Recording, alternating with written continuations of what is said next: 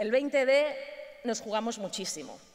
Nos jugamos muchísimo porque efectivamente estos proyectos de cambio que han empezado en las ciudades, como decía, a quienes han estado siempre instalados en el poder no les han pasado desapercibidos y ya nos han puesto como objetivo en sus críticas y en sus ataques. Y por tanto, lo que pase el 20D también para defender estos proyectos municipalistas, que son los proyectos de todos y de todas, va a ser esencial.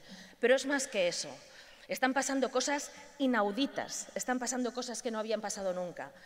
Hoy nos encontramos aquí, Galicia, Valencia, Cataluña, Madrid, nos encontramos como hermanas y como hermanos reconociendo más que nunca nuestra diversidad y la riqueza de nuestra diversidad, la plurinacionalidad del Estado que el gobierno del Estado de PP y de PSOE han sido incapaces de reconocer durante décadas, pero que hoy la ciudadanía ya está reconociendo.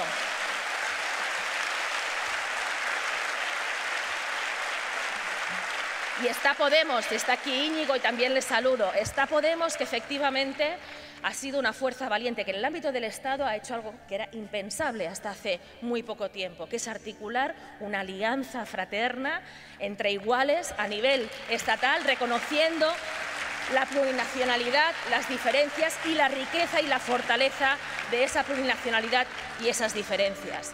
Esa marea, esa marea diversa, esa marea fraterna, tiene que ganar el 20D, porque está en juego muchísimo. Están en juego nuestras ciudades, está en juego el futuro, está en juego feminizar la política.